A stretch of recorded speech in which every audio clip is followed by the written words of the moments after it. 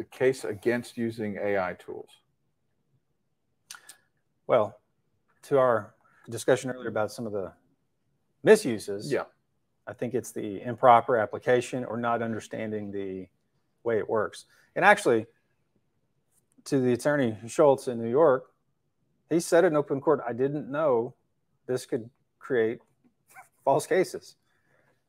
That hadn't occurred to him. Yeah.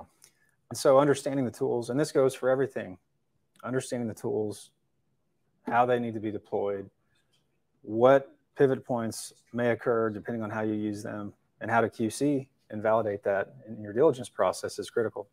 I see the downside as poorly timed use or misuse. Mm.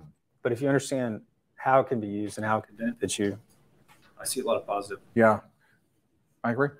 Good answer. I'm not even going to try to change that.